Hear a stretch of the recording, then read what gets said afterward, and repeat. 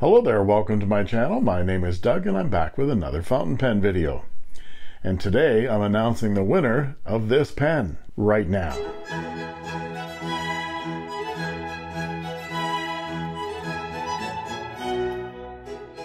But before I announce the winner of this pen, I have to recount my most memorable inky experiences, and I've had three.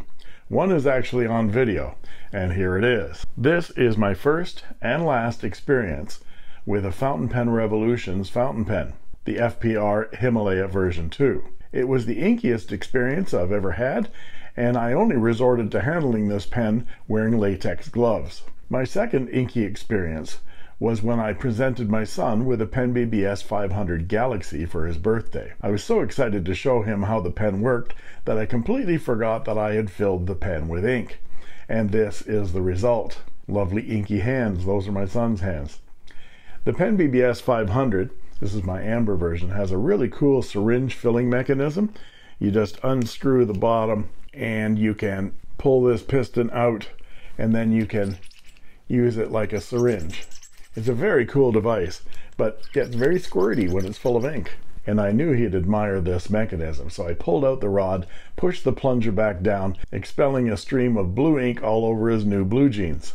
Blue on blue, at least. And my third experience is one I'm still ashamed about. My beautiful white and gold Leonardo Furore Salt. Here it is. It looks gorgeous, doesn't it?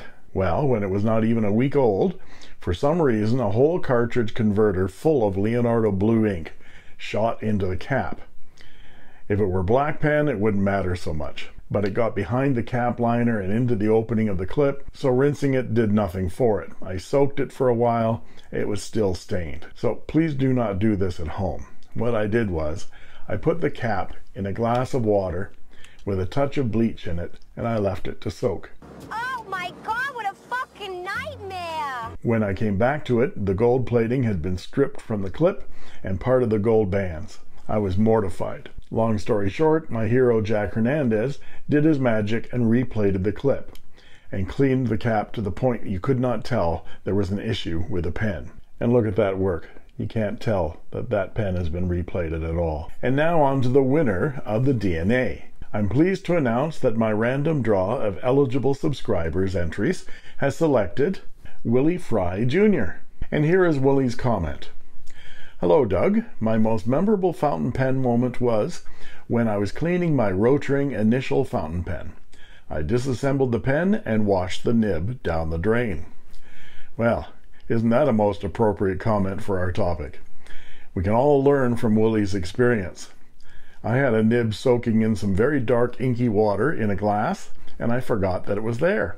I dumped the whole thing down the drain, and that drain had no trap and no screen. I'll never do that again.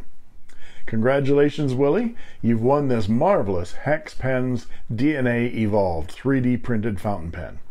I trust you not to flush this wonderful JoWo stub nib down the drain. All right? You have 48 hours from now, that's until this coming Monday, 8 a.m. Pacific Time, to contact me at inkquiringminds at gmail.com with your name and address so I can send you your Hex Pens DNA Evolved. And it will come in this lovely wooden box with the fancy red bow. If I don't hear from you by then, I will randomly select another winner until I find someone who does want to win this pen. And as promised, I have selected three runner ups to win their choice of an Ink Buddy stabilizer. Here are the top three comments on the topic Your Most Memorable Inky Experience. The third runner up. I call this one Who the Hell Got Emerald of Chicken on the Baby? Kenny! Don't paint your sister! Tiffany Blue Tarot writes, My most memorable ink moment was quite recent, since I'm brand new to the hobby. I inked up my first pen with my first ink, Emerald of Chivor, and started testing.